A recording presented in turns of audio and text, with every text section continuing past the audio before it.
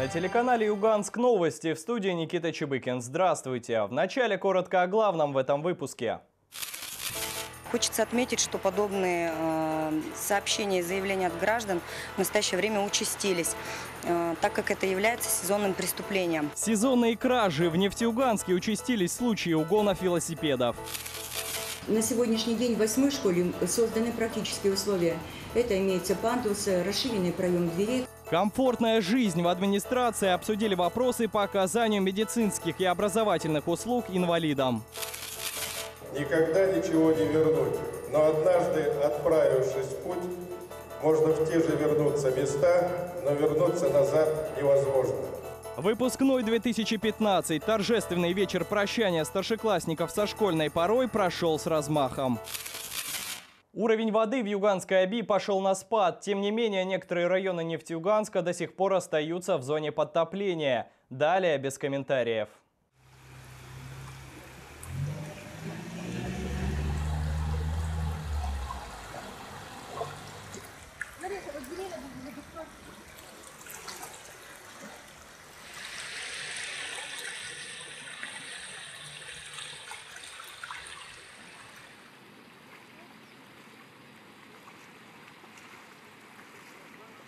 Хоть смотри, там сейчас уйдешь быстро. Замки не спасут. Сегодня утром в местное отделение МВД поступил сигнал о краже велосипеда в 15 микрорайоне. Двухколесник похитили прямо из подъезда. Стоит отметить, что начиная с весны с подобными заявлениями к полицейским обратились 24 владельца. До сих пор не раскрытыми остаются 12 краж. В течение двух лет Василий Гордеев оставлял свой велосипед в подъезде, причем место хранения на десятом этаже и возле квартиры. Нефтеюганец даже представить не мог, что кто-нибудь обратит внимание на его непримечательный транспорт старого образца. Сегодня ночью неизвестный злоумышленник похитил велосипед. Мило всякое бывает. Просто я как-то привык уже, что подъезд спокойный, никаких таких ситуаций не возникает. В общем-то, можно сказать, расслабился. Полицейские пробовали найти вора по горячим следам. Для этого даже вызвали кинологов. Собака пыталась взять след, но тщетно. Сегодня потерпевшего допрашивают дознаватели. К работе подключили криминалиста. Несмотря на то, что примерная сумма двухколесника всего 5000 рублей, преступление все же серьезное. Именно летом число краж увеличивается в разы, поэтому полицейские проводят ежедневные рейды и беседуют с горожанами. Хочется отметить, что подобные э, сообщения и заявления от граждан в настоящее время участились, э, так как это является сезонным преступлением.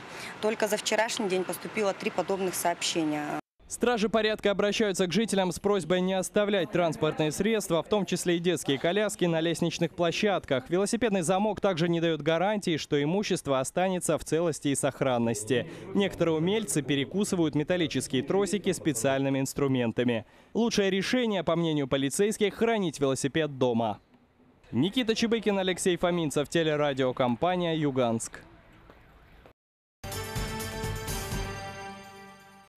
Доступная среда. В администрации состоялось заседание Координационного совета по делам инвалидов при главе города. На встрече обсудили вопросы оказания медицинской помощи и образовательных услуг горожанам с ограниченными возможностями здоровья.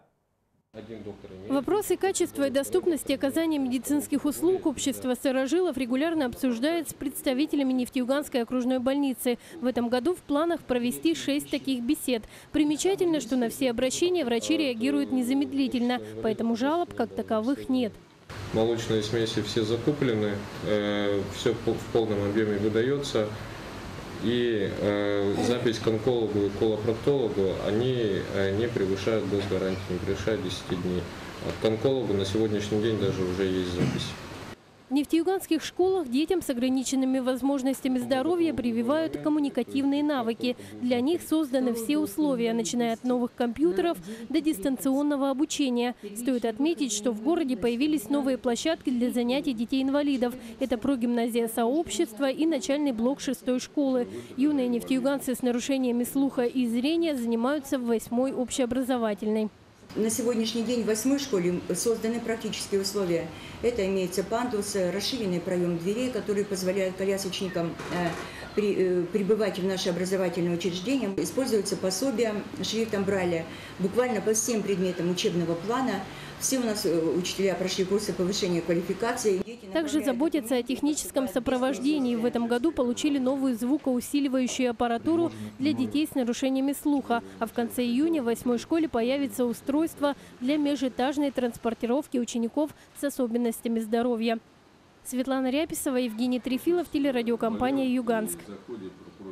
Сегодня актеры театра кукол «Волшебная флейта» показали спектакль в реабилитационном центре детства. Театралы в игровой форме рассказали детям о правилах дорожного движения. Подробности в нашем сюжете.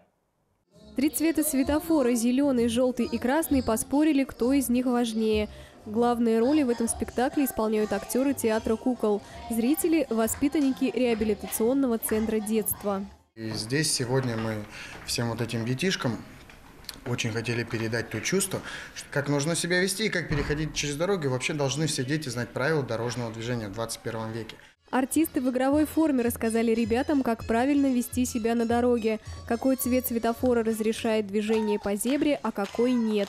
Также театралы познакомили юных нефтеюганцев с дорожными знаками. По дороге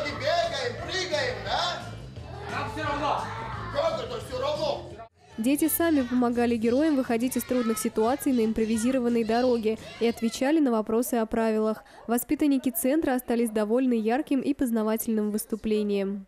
Театр кукол мне нравится ходить. Там весело. Я учила дорожное движение. Понравилось мне спектакль, очень весело было. Провели это время. Лагерь дневного пребывания на базе реабилитационного центра детства посещает 20 детей с особенностями развития. Каждый день воспитанники узнают что-то новое, в том числе и от местных актеров.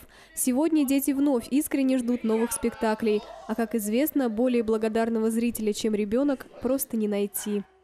Елена Волкова, Денис Малев, телерадиокомпания «Юганск».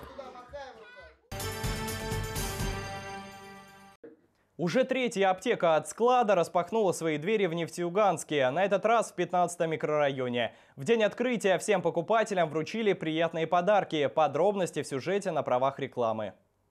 У этой аптечной сети есть несколько ярких преимуществ, среди которых гарантия подлинности лекарственных препаратов, которая достигается благодаря многоступенчатому контролю поступающих медикаментов.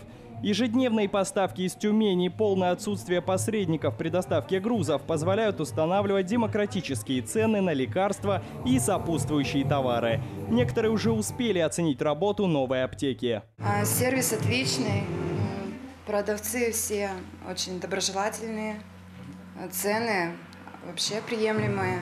Здесь очень светло, красиво, удобно для посетителей вашего города. Я вообще-то приезжая. Вот. Обслуживание очень даже великолепное. Также у клиентов аптеки от склада есть возможность заказать редкие медикаменты, либо медикаменты, которых не оказалось в наличии. Заказ привезут в аптеку в кратчайшие сроки, и клиент сможет выкупить свой заказ в аптеке по цене склада.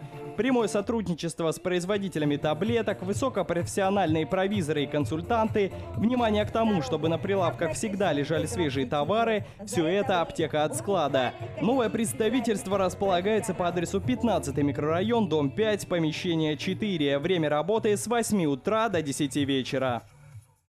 Юбилейная дата. Труженица тыла Зинаида Кирилловна Даниленко отметила свое 90-летие. Сегодня именинница принимала поздравления от родных, главы Нефтеюганска и нашей съемочной группы. Вы никогда не боялись трудностей, верили в лучшее, своим самоотверженным трудом создавали богатство и мощь страны. Желаю вам здоровья, бодрости духа и всего самого доброго. Президент Российской Федерации Владимир Владимирович Путин. Зинаида Кирилловна Даниленко родилась в Самарской области. В раннем детстве переехала с семьей в Ташкент. Когда началась война, совсем еще юная студентка сельскохозяйственного техникума ухаживала за ранеными солдатами и успевала учиться, причем на отлично. Злобная фашистская орда кровью залила сады и пашни, села жгла, громила города, бою ходит сокол сын бесстрашный. После войны Зинаида Кирилловна трудилась бригадиром, после главным агрономом, работала на хлопковых полях, была настоящим передовиком производства. В те годы ее труд высоко оценил первый секретарь ЦК Узбекской ССР. Почему Шарап Рашидович всегда приезжал к нам? Потому что у нас вот такие коробочки, которые даже в Узбекистане не, не были. Свою любовь женщина встретила сразу после войны. Токарь Витя, в прошлом разведчик и участник боев на Курской дуге, сразу пленил ее сердце. У пары родилось трое детей. Однако это не помешало им взять под свое крыло еще четверых ребятишек. Вот они сели на, на диван и плачут. Тетя Зина, дядя Витя, не отдавайте нас в детдом. Что хотите, будем делать. А Виктор добрый был и говорит, а пускай живут. За 43 года успешной работы в совхозе Зинаида Кирилловна была удостоена ордена Ленина. В Нефтеюганск приехала чуть больше 30 лет назад. Сейчас воспитывает внуков и правнуков. И несмотря на почтенный возраст, в окружении любящей семьи, женщина чувствует себя по-прежнему молодо. Елена Волкова, Денис Малев, телерадиокомпания «Юганск». На этом все. Узнавайте о событиях города в программе «Сейчас в Нефтеюганске». И делайте новости вместе с нами. Звоните в будни 23 77 47. Всего вам доброго и до встречи в эфире.